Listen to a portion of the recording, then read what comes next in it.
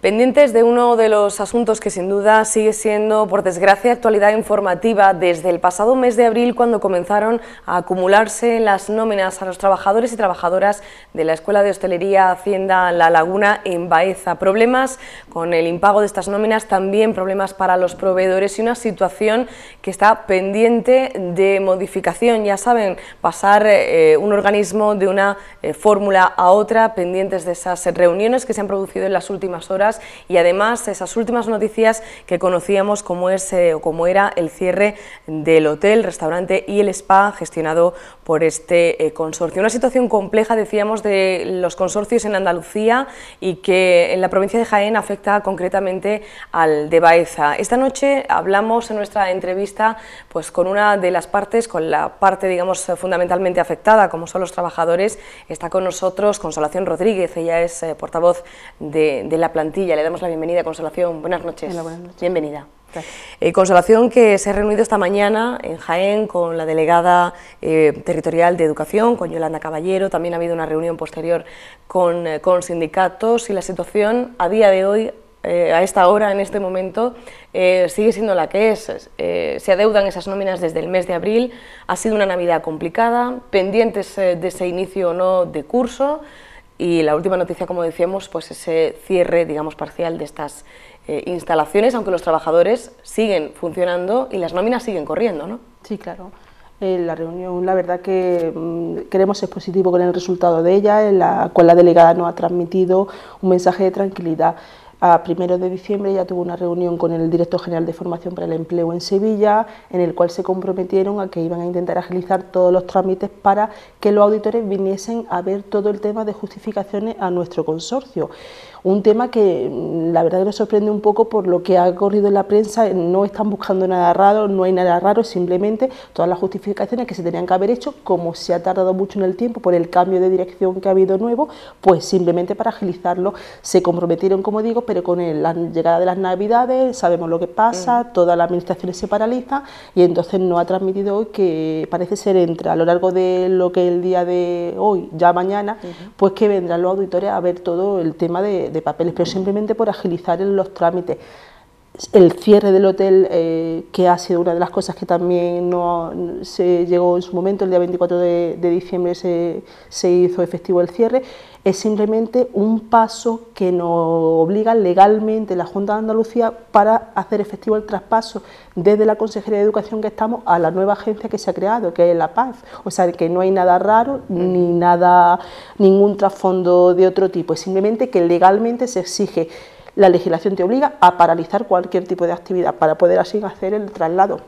No ha habido ningún tipo de despido, no hay carta de despido de los trabajadores, siguen estando los trabajadores, los fijos y los eventuales, lo que pasa es que lo que no sabemos cuánto tiempo va a durar eso, porque sabemos que, bueno, las cosas de administración, todo el tema burocrático suele ir muy despacio, pero eso hasta el día de hoy es lo que sabemos. Esa es la situación actual, pero a ello hay que sumar una coyuntura, digamos, eh, que en todo este tiempo ha venido eh, a complicar un poco más la situación, porque no solamente es la situación laboral, también la económica y la personal de cerca de 200 eh, familias aproximadamente que no perciben ninguna nómina desde el pasado mes de abril. ¿no? Sí, hombre, a nosotros ya también el, último revulsivo que hemos tenido ahora a finales de año es que nos consta de que ya entre cuatro y cinco consorcios de los que hay en total en la Junta de Andalucía han cobrado ya, han percibido, han percibido su nómina a los trabajadores, lo cual nos alegramos muchísimo, pero nos encontramos con que nosotros todavía no, como digo, no. Eh, el achaque que, que nos dicen siempre es tema administrativo y nosotros insistimos como trabajadores, nosotros no entendemos de temas administrativos, ni entendemos de exoneraciones, ni entendemos de expedientes de reintero, ni entendemos de nada. Entendemos que estamos haciendo bien nuestro trabajo, que lo hemos estado haciendo bien, que queremos percibir nuestros salarios, que queremos seguir utilizando la escuela como herramienta de formación a los alumnos, que los alumnos quieren terminar su formación y que un centro que ha sido referente en Andalucía y con una formación de excelencia lo están destruyendo ellos mismos, la Junta, por el, la desidia, por lo que sea que haya sido, lo están echando a perder.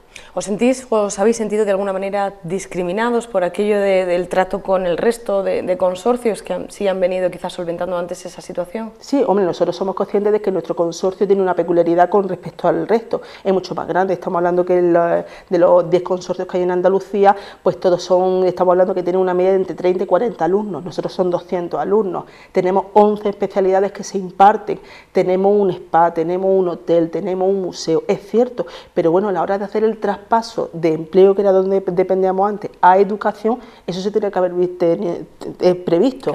El año pasado estuvieron ocho nóminas sin cobrar, desde el mes de julio estuvimos hasta diciembre, el 30 de diciembre que nos hicieron el ingreso, y ahora nos encontramos con que este año, pensando, nos garantizaron que a partir de octubre, nos garantizaron que para primero de enero iba a estar todo solucionado, íbamos a pasar a la agencia, nos lo pintaron todo estupendamente y nos encontramos que estamos a 8 de enero y estamos con las mismas queremos confiar y queremos creer, pero es que ya, ya no podemos, ya es que queremos hechos, fechas y cosas concretas. Ya el optimismo se, se ha ido agotando, ¿no? Y tenemos mucho, y tenemos mucho y mucha voluntad y queremos creer, pero es que hay gente que está pasándolo realmente mal. Imagínate de abril sin cobrar. Desde luego. Eh, situación también que habéis compartido esta mañana con, con, los sindicatos, ¿qué os han dicho? ¿Cuál ha sido el resultado de esa reunión? Hombre, ellos también han participado en la reunión junto con nosotros, porque bueno, ellos también tienen que decir y, hombre, ellos apuestan por el diálogo. Entendemos que hay que apostar por el diálogo, tanto los representantes como el sindicato, porque vemos que hay fluidez con, en este caso, la delegada de educación, vemos que están apostando por el funcionamiento de la escuela, vemos que están intentando hacer todo lo posible, pero claro, también siempre con cierta reticencia y miedo siempre a, bueno, a, lo que siempre hemos temido todos, que se cerrase. Nos han garantizado por activa y por pasiva que no va a ser así, pero bueno, siempre tenemos que tener... Nosotros en su momento ya presentamos las denuncias a la Junta de Andalucía porque claro, no podemos estar de brazos cruzados esperando a que, a que nos cierren, a que nos echen. Entonces, bueno, en ese aspecto, bueno, eh, estamos intentando hacer una negociación un poco tranquila.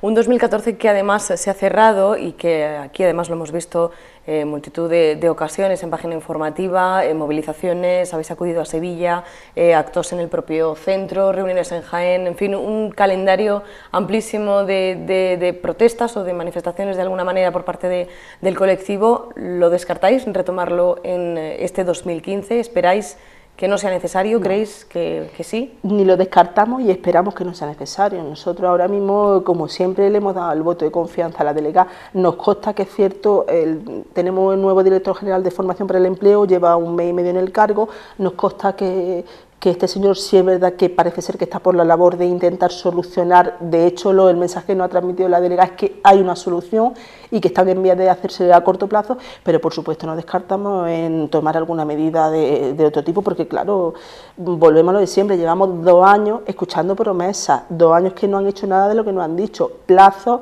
jamás nos han dicho porque ni ellos son capaces de saber cuándo. Ahora nos dice que intentan agilizar todo para el traspaso de la paz. Nosotros sabemos que eso no es tan fácil, no es tan sencillo, pero vamos, vamos a creer que va a ser así. No obstante, los trabajadores, mañana viernes tenemos previsto una reunión, una asamblea con todos los compañeros y ahí decidiremos si vamos a hacer algún nuevo calendario de acciones.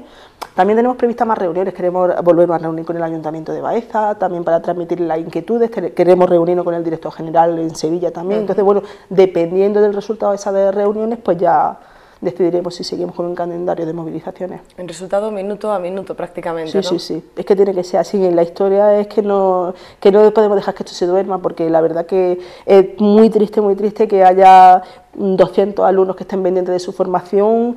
En la provincia de Jaén, que estamos hablando de un porcentaje de paro altísimo, la inserción laboral en nuestro centro es de más del 95%. Es muy paradójico que estén haciendo lo que están haciendo con nosotros. Y más en el sector turismo, que sabemos que lo que nos está moviendo la economía en España.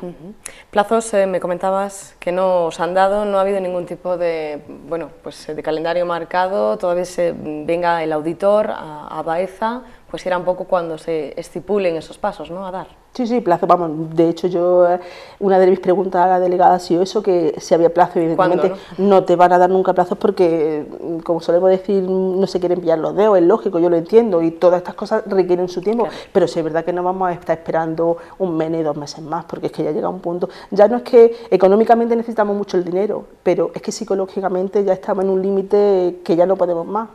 Muchas veces peor el trato que tenemos, el desgaste que tenemos personal que que bueno el material. Situación compleja, complicada, que mm, en esta casa hemos venido siguiendo desde el principio, lo vamos a seguir haciendo y esperemos que haya que hablar eh, mm, pues poco tiempo ya de, esta, eh, de este complejo panorama y que la solución llegue cuanto antes, pues no solamente por el organismo, por la entidad en sí, por la creación de empleo en nuestra tierra, sino también, por supuesto, por ese futuro de las personas que dependen laboralmente de él. Consolación, ha sido un placer. Muchísimas gracias por gracias estar a vosotros.